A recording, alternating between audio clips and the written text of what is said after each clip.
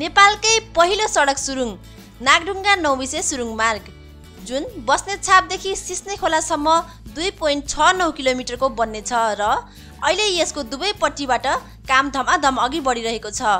आज यसको on the field detail video report लिएर आएका छौँ।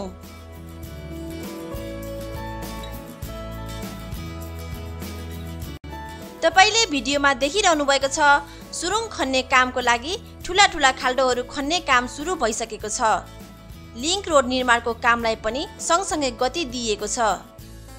दुवैतर्फ गरेर सयौँ कामदार र ठुला ठुला मसिनहरूको प्रयोग सुरु भइसकेको छ। सुरुङको दुवै छेउमा कार्यालय स्टोर मेसिनहरूको व्यवस्था गरी कामलाई गति दिन खोजिएको छ।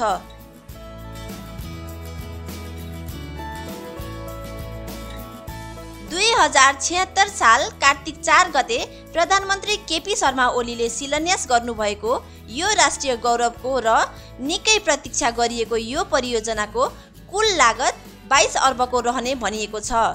जुन निर्माण कार्य मुआब्जा लगायत सम्पूर्ण खर्च सहितको हो। बाइस अर्ब मध्ये सोह्र अर्ब जापान सरकारको सहुलियत कर्जाको रकम हुनेछ भने छ अर्ब नेपाल सरकारले छुट्याएको छ।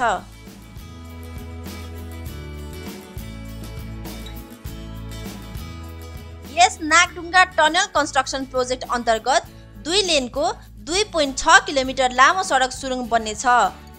पूर्वमा दुई पोइन्ट तिन किलोमिटर र पश्चिममा छ सय मिटरको लिङ्क रोड बन्नेछ। अहिले लिङ्क रोडको निर्माण कार्य पनि द्रुत गतिमा भइरहेको छ। यसको साथसाथै यस परियोजनामा एउटा फ्लाइओभर सातवटा पुलहरू एघारवटा box culvert toll gate transmission line traffic अनुगमन तथा नियन्त्रण र मर्मत सम्भार भवन पनि बन्नेछ। साथसाथै सर्भिस स्टेसन पनि बनाइनेछ। रेस्टुरेन्ट पसल तथा शौचालय सहितको चार हजार छ सय पचास स्क्वायर मिटरको विश्रामस्थल हुनेछ जसमा नौवटा ठुला र तेइसवटा साना गाडी पार्किङ गर्न सकिनेछ। नेपाल सरकारको भौतिक पूर्वाधार तथा यातायात मन्त्रालयले यो काम अगाडि बढाएको छ। यसको contract Japanese company Hazama Ando कर्पोरेसनले पाएको छ। यसको कन्ट्र्याक्ट सुरुवात मिति चौध नोभेम्बर दुई हजार उन्नाइस हो र सोको बाह्र सय साठी दिनमा यो निर्माण कार्य सक्नुपर्ने व्यवस्था रहेको छ।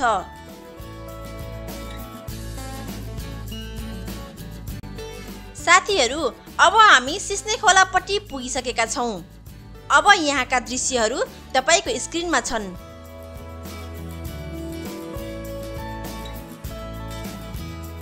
दुई पोइन्ट छ नौ किलोमिटर लामो दुई लेनको रहने यो सुरुङ मार्ग बाह्र मिटर चौडा र आठ मिटर अग्लो हुनेछ। साथै यसमा दुई पोइन्ट पाँच मिटर चौडा आपतकालीन अवस्थामा प्रयोग गरिने लेन पनि हुनेछ। यसभित्र एलइडी लाइट प्रयोग गरिनेछ मेकानिकल भेन्टिलेसन हुनेछ आपतकालीन फोन सेवा पनि हुनेछ।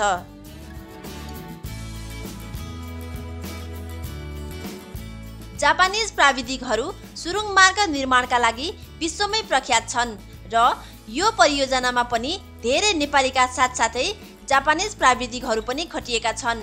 आशा छ यो गौरवको योजना समयमै सम्पन्न हुनेछ। हालको निर्माण कम्पनी हाजामा एन्डो कर्पोरेसनको नेपाल अनुभव हेर्ने हो भने यसले कोटेश्वर सूर्य विनायक रोड र बिपी हाइवे जसलाई बनेपा बर्दिवास हाइवेको रूपमा पनि चिनिन्छ। सोको निर्माण गरेको छ।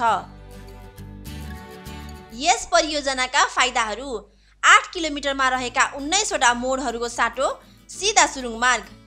साधारणतया बाटोमा कुनै अवरोध नहुँदा करिब पैँतिस मिनट लाग्ने गरेकोमा यसको निर्माण पश्चात पाँचदेखि दस मिनट लाग्ने देखिन्छ। ठाडो उकालो र ओह्रालो रहेको अहिलेको बाटोमा पहिरो दुर्घटना तथा गाडी बिग्रिने र जामको समस्या रहँदै आएकोमा सुरुङ निर्माण पश्चात त्यसमा व्यापक कमी आउनेछ। नयाँ प्रविधिको सिकाइ भई देशमा सुरुङ निर्माण सम्बन्धी अनुभवी दक्ष जनशक्ति तयार हुनेछन्। अहिले नेपालमा फास्ट ट्र्याकमा बन्ने तिन सहित देशभर सत्रवटा सुरुङ मार्ग अध्ययन र अध्ययन पछिका चरणमा छन्। यो वर्ष सडक विभागले धरान लेउती रोड ललितपुरको गोदावरीदेखि काभ्रेको मानेभन्ज्याङ र डोटीको दिपायलदेखि कैलालीको खुटिया खण्डमा सुरुङ मार्गको सम्भाव्यता अध्ययन गर्दैछ। गएको आर्थिक वर्ष पनि पाँचवटा सुरुङ मार्गको सम्भाव्यता अध्ययन गरेको थियो। एउटा सम्भाव्यता अध्ययन गर्न करिब चालिस लाखभन्दा बढी खर्च लाग्ने गरेको छ र अधिकांश आयोजना अध्ययनमै सीमित रहेका छन्। सडक मार्गभन्दा सुरुङ मार्ग दस गुणा नै महँगो पर्न जान्छ सडक विभागका महानिर्देशक केशव कुमार शर्माका अनुसार तिनदेखि पाँच गुणासम्म सडक मार्गको दूरी छोटियो भने त्यो स्थान सुरुङ मार्ग निर्माणको लागि सम्भाव्य हुने गर्दछ। सरकारले दोलखाको लामा बगरमा पनि सुरुङको सम्भाव्यता अध्ययन सकाएको छ। महेन्द्र हाइवेको दाउन्ने उकालोमा पनि पाँचदेखि छ किलोमिटर लामो सुरुङ मार्ग बनाउन अध्ययन गरिएको छ। पोखरा बागलुङ सडकको हेम्जा नयाँ पुल खण्डमा सातदेखि आठ किलोमिटर लामो सुरुङ मार्गको अध्ययन भइसकेको छ। बिपी हाइवेको खोरकुट चियाबारी खण्डमा पनि सुरुङ मार्गको सम्भाव्यता अध्ययन भएको छ। जुन पाँचदेखि छ किलोमिटर हुनेछ यसै गरी थानकोट चितलाङ सुरुङ मार्गको पनि अध्ययन भइरहेको छ। टोखा छहरे गुर्जु भन्ज्याङ पाँच किलोमिटर र बेत्रावती रसुवागढी चौबिस किलोमिटर सुरुङ मार्गको डिपिआर नै तयार भइसकेको छ।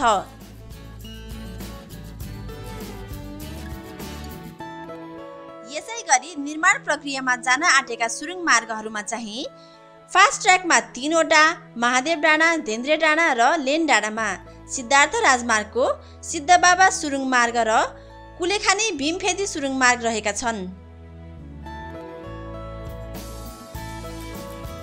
एक सय चार वर्ष अघि नै राणा शासन कालमा सात सय मिटर लामो मकवानपुरको चुरियामाई सुरुङ मार्ग नेपालले बनाइसकेको थियो जुन अहिले भग्नावशेष अवस्थामा मात्र छ। बीचमा यो प्रविधिलाई निरन्तरता दिन नसकेको नेपाल सरकारले अहिले जताततै अध्ययन त बढाएको छ तर एउटा मात्र परियोजनामा मात्र काम भइरहेको छ। जुन हो नागढुङ्गा नौबिसे सुरुङ मार्ग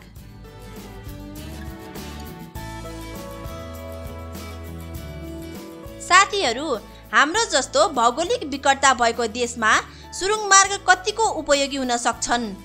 तपाईँ यसबाट के कस्ता फाइदा वा बेफाइदा देख्नुहुन्छ? कृपया कमेन्ट गर्नुहोला।